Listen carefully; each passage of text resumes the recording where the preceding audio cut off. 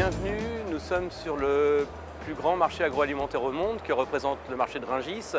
Euh, c'est un marché qui fait 232 hectares.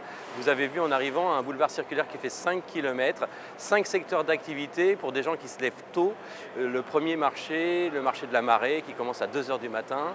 Ensuite il y a les viandes, les produits laitiers et produits traiteurs, fruits et légumes et fleurs.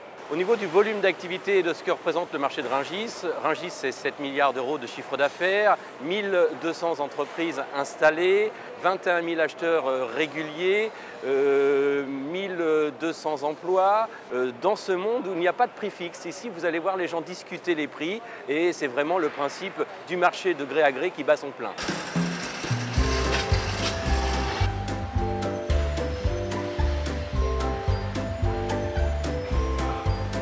sommes spécialisés plus particulièrement dans la volaille de, qualité haut de gamme à l'origine, mais nous avons aussi euh, été obligés, pour répondre à une demande beaucoup plus large, de, nous diversifier. Nous offrons actuellement une gamme de produits vraiment très très large, allant de la cuisse de poulet euh, ordinaire, du poulet ordinaire, jusqu'au très haut de gamme.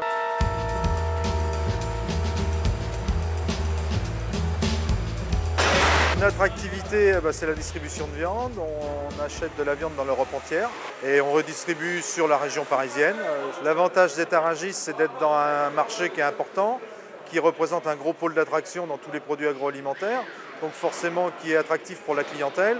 Et sur le même lieu, ils peuvent trouver tout type de produits.